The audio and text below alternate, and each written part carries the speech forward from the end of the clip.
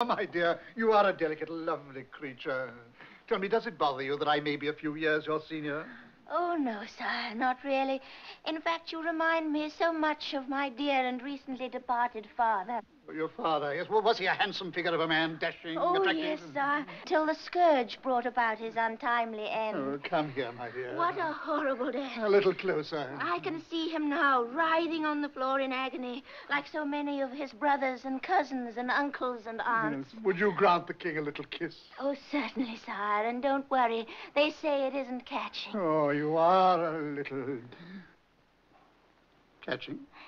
Just because it runs in the family doesn't mean that everyone has it. Kiss me, sire. Has it? Has what? Don't I please you, sire? Oh, yes, yes, but uh, these are brothers and cousins and uncles. And aunts, let us not talk about their swollen, twisted, pain-ridden bodies. Hold me, take me in your arms. Tell me I'm yours. But this, uh, this writhing on the floor. In agony. Yes, well, what's, well, how does one catch this thing?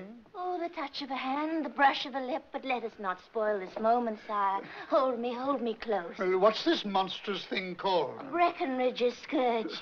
Who's Breckenridge? My father. Excuse me, dear. I'm feeling, feeling rather poorly. Sire, the ceremony is ready. Oh, very well. Well, I, I must go now, my dear. And so must you. So must you. Quickly. And, uh, don't touch anything.